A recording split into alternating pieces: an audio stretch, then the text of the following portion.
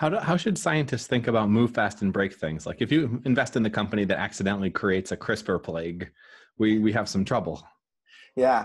Uh, so I think I think that's where the core science matters a lot, right? Like we fundamentally, in our case, uh, we start with the science uh, first, right? We really want to understand what's what's going on, who's behind it, who's actually developed. So most of the companies we back, the founders that we work with, uh, this is their life's work, and their advisors, it's their life's work as well. Uh, so the the expertise around a particular area uh, of knowledge, you know, they it is at the the edge of what humans know. Period uh, and and it's an extremely hard space to operate in.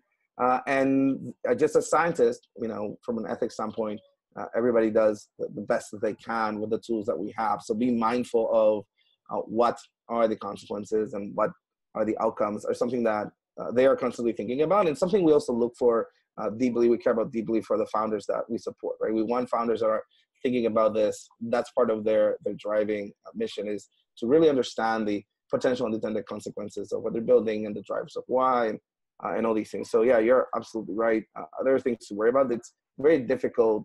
It's very it's very difficult. I wouldn't say it's almost impossible to know what the potential unintended consequences might be for enabling technologies that we have now. Right? It's just like talking about social media and internet addiction now, uh, where you know it was not obvious necessarily you know 20 years ago or maybe all of us on the open source side that that that would be the case